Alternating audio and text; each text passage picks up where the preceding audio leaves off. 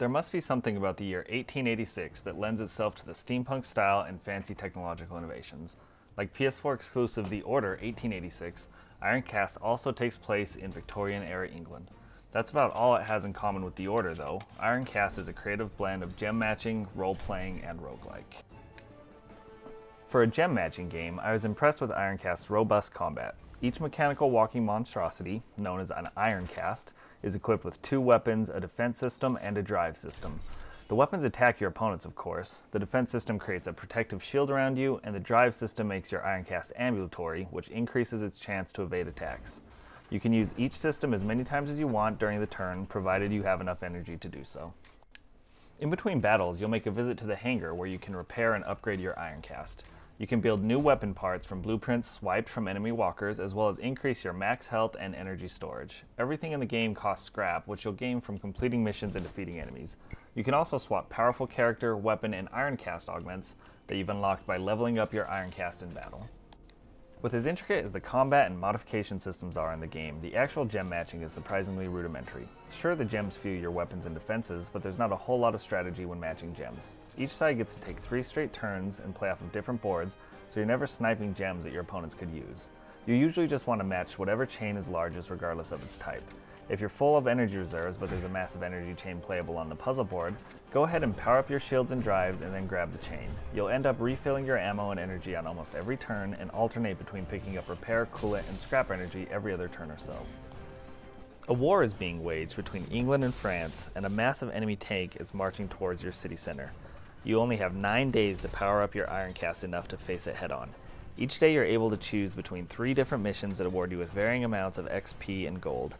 There are several different mission types, some as simple as going through a couple branching paths of dialogue to trade for supplies. Others are far more complex, requiring you to survive multiple turns or salvage a certain part of an enemy Ironcast by killing it without damaging a specific weapon, drive, or shield on it.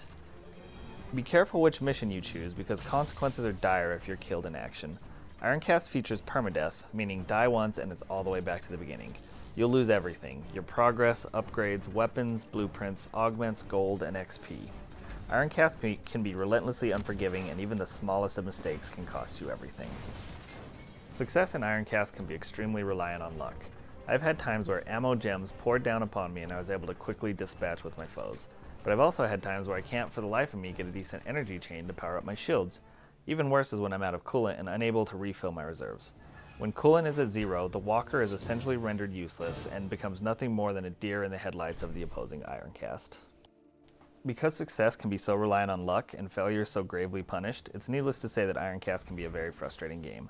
When the RNG doesn't go your way, when your Ironcast misses a couple shots, or when you can't get the gems you need, all these luck-based outcomes can cost you dearly. I'm not sure if I'm just bad at the game, or the game itself is too hard for its own good.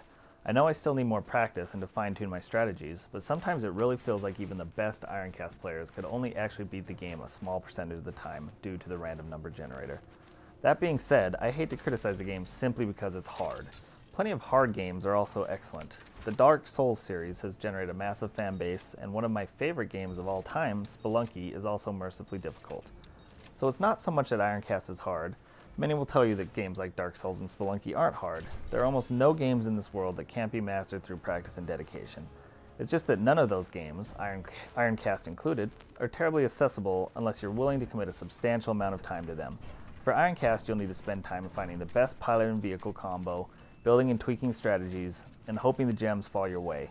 While I enjoyed the gameplay and found the setting to be fun and interesting, the game didn't have enough to convince me to commit the hours truly needed to enjoy Ironcast.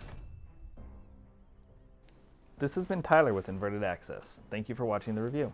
For more on Ironcast and many other games, make sure to check out invertedaccess.com.